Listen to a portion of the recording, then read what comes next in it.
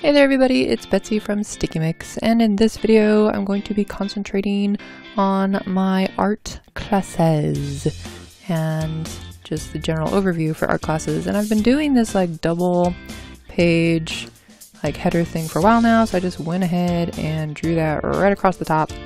And I need to come up with drawing tips for the monthly newsletter and for some reason couldn't write October I was going to write August again because, you know, the months go August, September, August again. No, they don't, so I had to try to fix that. Anyway, that's my little tracker for how many drawing tips I've drawn for the year. Because I used to um, draw them like one a month, right? I just like draw one for the month and then draw one for the next month. But it always happened that I kind of forgot about it until it was like due the next day, and I was just like, oh no, I have to get it done. So now I'm just like, oh hey, why not just sacrifice like two hours out of your weekend or day off or whatever because I don't have a weekend and then get like you know three of them done in one shot. Now you're just like home free for three months. I mean that's amazing. So all kinds of whiteout happening here because I was um, making a little list. So like if I ever needed to kind of review like what have I done lately? What have I already covered in my art classes? Then I could just look at this page and see what I did for the year.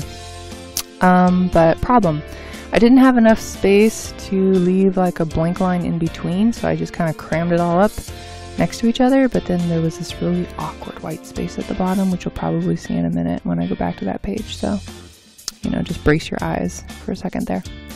Class inspiration. So here are some things I might teach about, maybe, because I have to pick things that the kids like, so that kids come in but also things that are appropriate for the moms. So, like furries, mm, that's a touchy subject. Please don't go and um, internet search furries because just don't.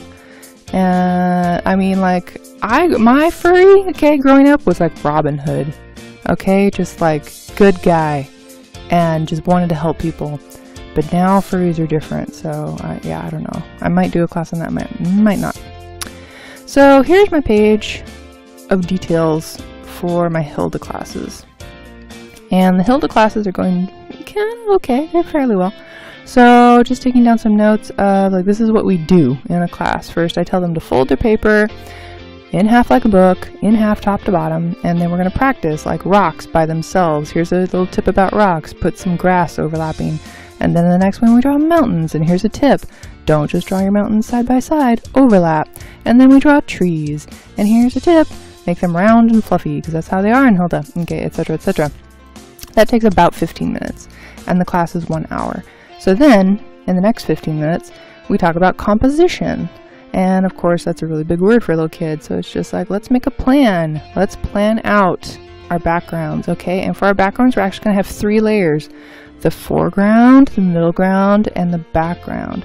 So a really easy way to separate these is use three different colors, like black for the foreground, so things are super close, then gray for the middle ground, which things are just kind of in the middle, and then far away white. And you can do this for everything and just, it makes things easier. So that's what I'm doodling there, a little waterfall if you couldn't tell what that was. and then some clouds and a big rock and a tree. Yeah, that's not like a weird bug right up on the frame. That was supposed to be Hilda and her little fox deer sitting on a rock. And then Ooh, excuse me. Uh, approximately 25 minutes left for drawing, and then I leave five minutes for cleanup, where it's just like, please put your pencils back in their little containers, put the erasers back, put your chair back, you know, put your drawing on your clipboard so it will be there next time, and let's call it a day. Then on the other side, I need to figure out um, what kind of things am I doing for the other months, because the mountain one was obviously the example on the left. So, yeah, Let's just make notes anyway because, I don't know, sure. And then Trollberg is the city because Hilda moves into the city against her will. But uh, what, what are we going to do then? We can't draw rocks and pine trees and mountains because now it's the city. So I'm going to have to figure out like how to do warm-ups with houses and like traffic lights and things like that. Notes for next time. So free time is kind of not working. Kids, they want to be led step by step. They just want to make something pretty by copying what I do. So that's a thing. The warm-ups are maybe too repetitive because they're the same thing kind of every time. And I think I need to um, just highlight the word of the day more. Just be like, if you remember nothing else from this class, remember to overlap your mountains. That's it. Just like overlap your mountains. Okay, the end. So here we go, forest animals. We're painting them, and again, I just drew my highlighter header right across the two pages, but that was a mistake, and you will find out why later. So for forest animals, um, January is past, but I decided to write it anyway, I guess. And uh, write down all the animals that we're doing for the different weeks.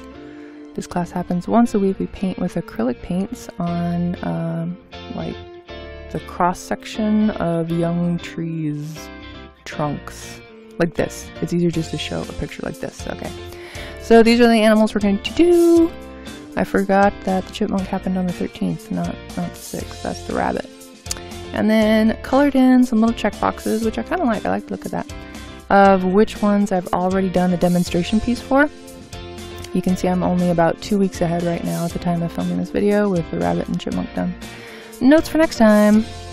Projector is incapable of displaying true colors and it makes mixing really difficult because I'm mixing on my palette and it looks like orange to me and then I look up on the screen and it's just like brown. And like goodness this you know doesn't match what I'm doing on the screen so that's hard.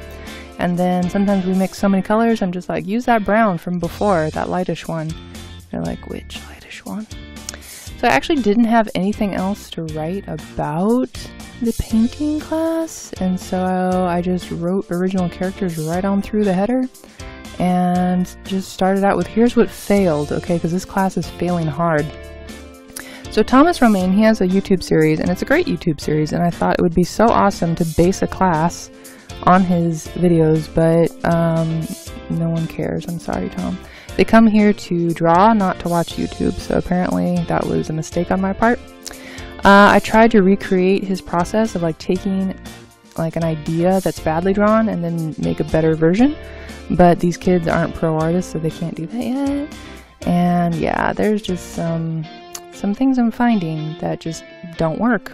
Um, I need to have a lot more demonstration pieces, and that's a pain because that means I have to spend my hours when I'm not paid to do demonstration pieces to have an easier time at class or I could not and then have it rougher for me in class. So I don't know which which is the right answer there. I don't know. So here's some ideas. Let's get back to basics, okay? Let's just start with an archetype. Let's just like here, let's draw a witch. What do witches have, everybody? That's right, pointed hats. What color skin do they have? That's right, everybody. Oh, but wait, have you ever seen a movie called Wizard of Oz? Do you remember Glinda the Good? Ah, there we go. Variation on the theme. Okay. Anyway, yeah, I gotta save that class. Then, there's the red line class where I take a drawing and I kind of show how we can make it better, you know? Like just a couple of curved lines, a little overlapping, a little foreshortening, and it can really look better. Although, again, the word better is just so full of wrongness because art is art, it's self expression, it's representation of your soul. Who am I to say your soul doesn't have enough overlapping, right? But again, I'm dealing with parents who are just like, it doesn't look like a cat, it looks like a dog. We need to fix this. And so, yeah, that, that happens. Since I'm going to be flipping to this index a lot, I decided to pull out my Hedgehog book tabs. Hedgehog, get it? You know, it's the year of the hog. Okay, that's enough of that. And so uh, I can flip to my index more easily now. But I'm also still marking the page numbers on the pages that reference them. Does that make sense? Like on my February month view, I still write like, oh, do you need more details on this thing? You know, go flip to page 17. So yeah, that's the thing. So with Redline, I actually find artwork on the internet which um, has maybe been drawn by not professional artists, okay, maybe somebody just starting out. And we fix them in class. And so I'm writing some check boxes down so I can find some drawings where we can fix the size, fix the foreshortening, fix the horizon line and density and all that good stuff. And then in March, there are more classes. So let's make more boxes. There's March 1st, 8th, 15th, 22nd, and 29th. Yes. All of those need at least three reference drawings, I think. And here are the themes of the classes. Bonus. Add your imagination, kids. I know you haven't used it in a long time, but try. Try to put something in the drawing that is not on mine. I'm not going to show you how, okay? You just got to put something that's not there. Like butterfly, rainbow, anything. Like make it your own. Own it. The rest of the space was just notes for next time. And actually that class is going pretty good, so there are no notes for next time. Be back soon.